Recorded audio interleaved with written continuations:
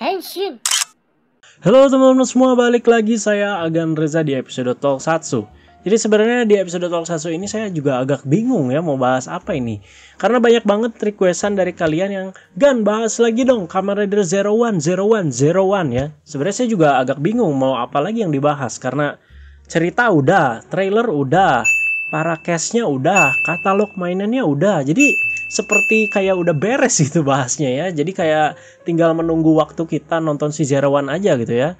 Nah, tapi kalau banyak banget nih dari kalian kayaknya belum kenyang gitu ya. Saya bahas Zero One ini, ya udah kita bahas lagi karena ini saya iseng-iseng ternyata main ke websitenya kamenriderofficial.com dan menemukan beberapa artikel dan juga fitur-fitur yang keren lah di sini ya bisa dibilang ya.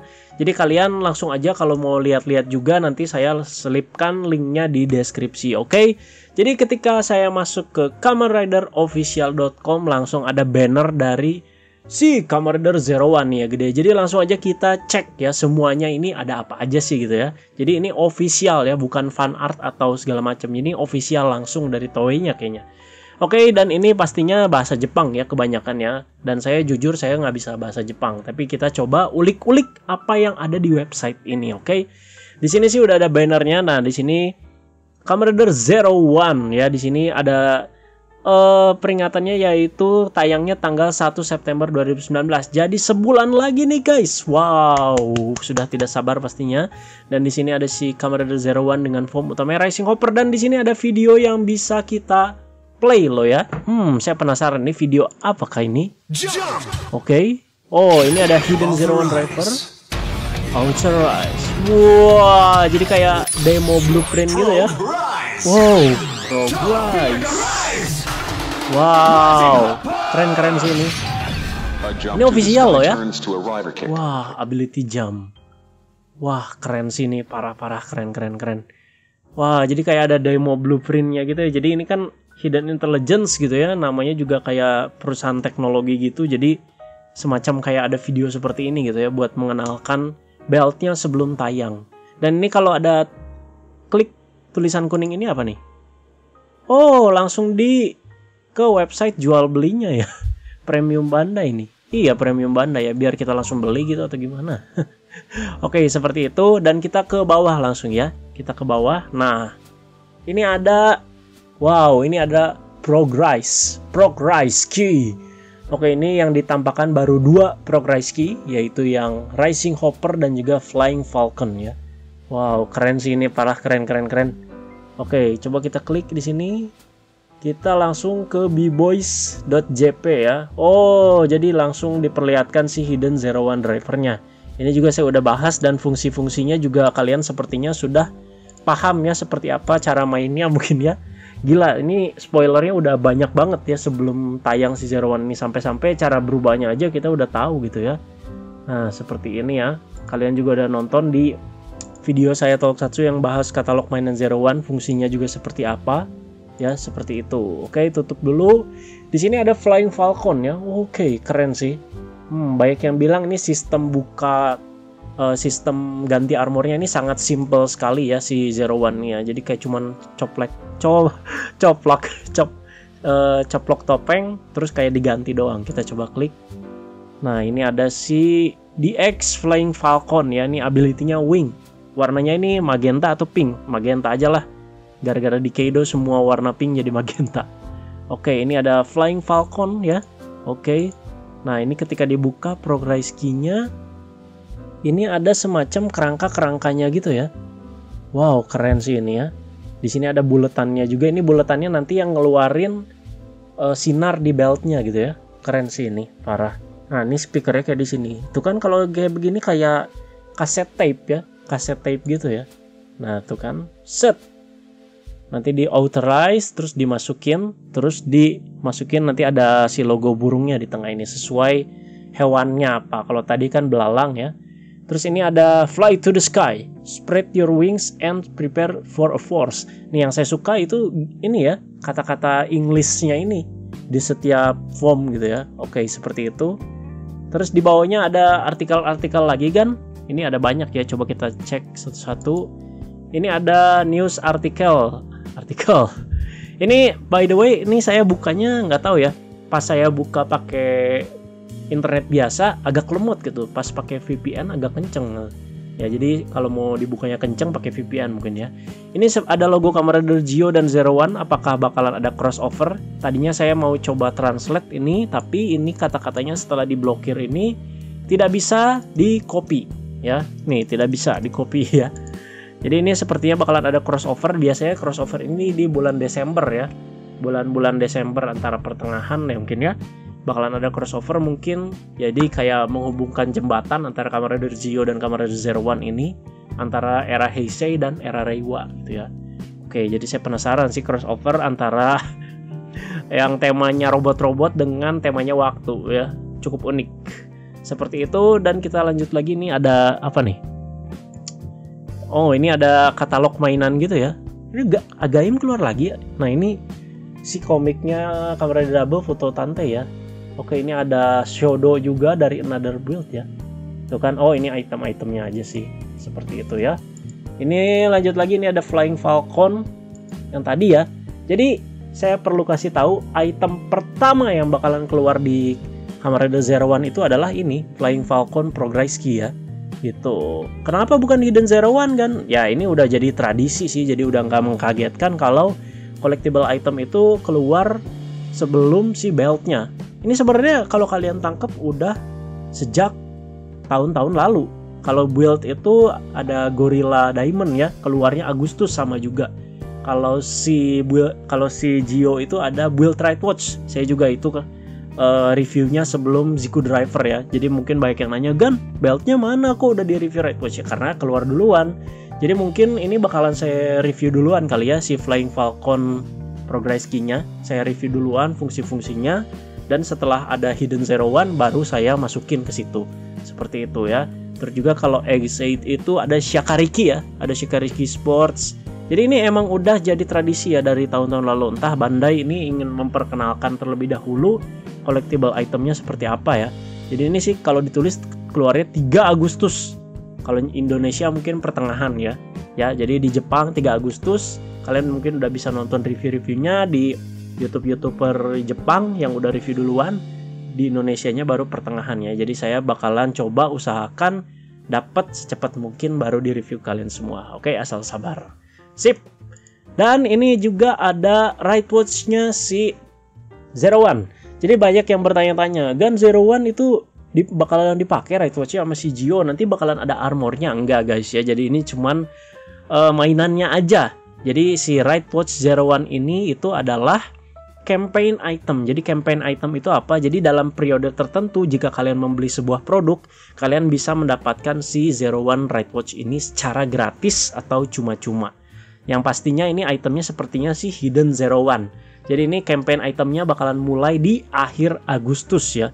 31 Agustus 2019 ketika kalian beli Hidden Zero One Driver kalian bisa dapetin Right Watch dari si Zero One ini gratis ya. Biasanya sih gratis kalau di Jepang. Kalau udah masuk Indo biasanya diduitin sama kayak Cross Right Watch sama juga kayak gaseatnya Build sama kayak gitu-gitu ya nah ini semoga saya bisa dapet ya doakan doakan ya wah saya juga pengen tahu nih kalau dimasukin ke Jiku seperti apa ya jadinya. Oke, jadi ini adalah campaign item. Ya, mungkin aja bakalan keluar di crossovernya movie-nya si Gio sama si Zero One. Who knows ya. Oke, seperti itu kita lanjut lagi ini ke bawah ya ya. Oke, ini ada Hidden Zero One ya. Hidden Zero One Driver. Oke, ini bahasa Jepang semua pak. Saya nggak mau sok pinter juga. Terus di sini kita klik lagi ini. Oh, ini ada apa nih?